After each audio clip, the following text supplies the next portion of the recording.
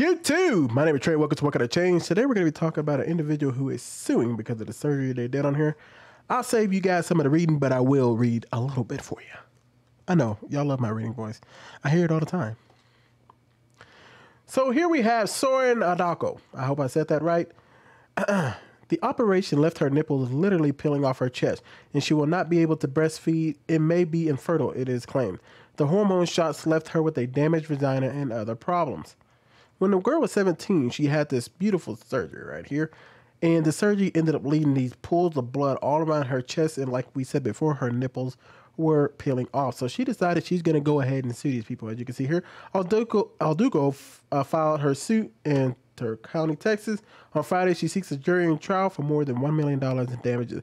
Now, I bet you're wondering, how can she sue? Didn't she want this? Well, she was a young woman, and what she ended up doing was going to these guys. I'll leave this up here for you guys to read. What she ended up doing is going to this clinic and saying, hey, you know what? After a manic episode, she was treated by uh, Dr. Nicolau. I don't know how to say the name, I'm sorry, at Mesa, Mesa Springs Psychiatric Hospital, where the psychiatrist, psychiatrist, psychiatrist? Man, these words, allegedly coerced and pressured the 15 year old into coming out as trans. Soon after, she attended a support group for trans youth in Fort Worth called Transcendence International in 2019, where she met Perry. Perry had a reputation as the guy who prescribes testosterone upon request, it is claimed. After a 30 minute appointment at Perry's office in January 2020, the nurse practitioner prescribed her an outrageously large off label dosage of testosterone and another drug to block her estrogen. And this is what led to all the damage and led to all the stuff in her vagina. And now she could possibly be infertile. Remember, 15 years old. I'm so glad we don't have anything like that around here because I'm the type of guy I would show up to these meetings. I'm not an argumentative. I, well, I can't be argumentative. I won't lie to you guys, but I wouldn't go in there to cause no problem. I'm not the guy to just go up there and be like, "Oh, I'm just gonna destroy this whole place," like some people do what I would do is I would show up to one of these meetings and I would just listen. I would just listen. You see, I'm the kind of guy who loves to soak in a lot of information, right? I just listen. I sit back, I read, I do a lot of reading, I soak it up, and I would just wait. Y'all notice I don't make videos on people until far later after stuff has started happening. We just talked about Doja Cat. I didn't say a word about Doja, even though I knew a long time she was starting to crack. I waited till now. I try to listen, just see what's going on and see how it pans out. And that's what I would have did with that meeting. That's a little just me being off topic. I just wonder. I would have gone to that meeting for the trans kids and just listen, just sat back, just said, not said a word. I would have left and said goodbye. I would have asked people questions, be like, "Oh, that's how you feel? Okay, interesting. Hey, hey, you guys have a good night." I would think it was evil, and I would think there was something wrong with it. But you don't fight your battles. You don't always go in guns blazing. You have to listen to the people who are trying to hurt your kids. You have to listen to the enemy. You have to learn this stuff. And I think what people do these days, is they get so caught up in trying to fight the fight that they don't sit back and see, like, well, I can't just fight it this way. I have to be able to beat these talking points because they're going to keep coming up. Anyway, back to this young ladies. Um, this is what I talked about before when it comes to these young kids. That's the reason that sometimes I play the song, you know, Can We Just Talk by Khalid, right?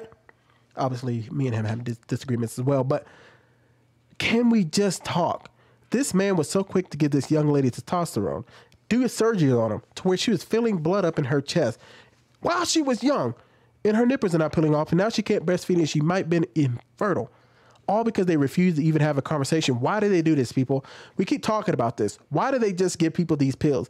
It's not always because they want to be like, oh, because we want people to love is love, and we think the kids will take their lives if they do all that. That's what they use to say that kind of stuff. That's how they get their stuff pushed forward. But really, at the end of the day, this man is going to give this girl testosterone pills. But who's going to pay for that? Oh, yeah, exactly. He's going to get paid giving out these testosterone pills. He's going to get paid doing these surgeries. He's going to get paid for all this stuff that goes wrong with these people. And they're going to have they're going to have to come back, right? If they trust you enough, they'll have to come back and get all this stuff fixed, and they'll keep coming back and keep coming back and keep coming back. And guess what? Cha-ching, cha-ching, cha-ching, cha-ching, cha-ching, cha-ching, cha-ching. Even if the insurance company is paying for some of this, it doesn't matter. Their pocketbooks are still getting filled up. And when you create trans people like this, this woman who's possibly infertile, do you think that's going to make her love life easier? Do you think she's going to be able to get married now? She could possibly get married, but is she going to be able to build a family? She's going to have to get to go through adoption. I'm sorry to tell you guys, this is the harsh truth. You're gonna have now she has to go find a man who's willing to deal with the trauma she's dealt with, She's gonna have to go find a man who's willing to not have biological kids with her and adopt. That has lowered her her dating pool. It's gonna make it harder for her to ever build a family of her own. She's gonna have to find somebody who's willing to adopt, right? And if she adopts by herself, you're putting the kids at risk because that's a single parent home. That's all I'm saying. It is a even if this is, it doesn't matter. At the end of the day, they have almost succeeded. They've ruined the family already. She hasn't even started her own family. Now it's gonna be hard for her to even start a family.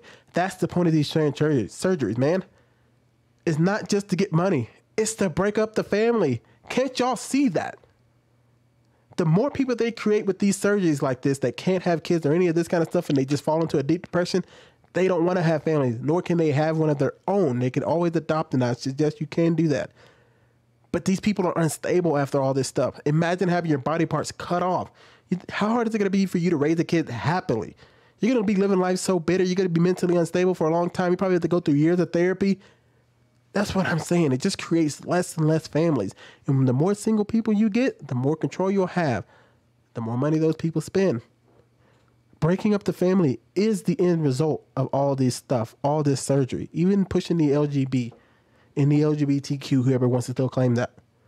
Pushing these agendas as much as you want to, it just destroys more and more family. It is destroying the family unit.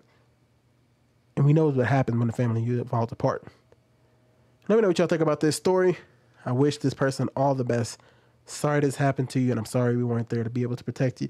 But we can still continue to do this, guys. Keep supporting people who are against having these surgeries on kids. Let these kids live their life. I'm out of here. Goodbye.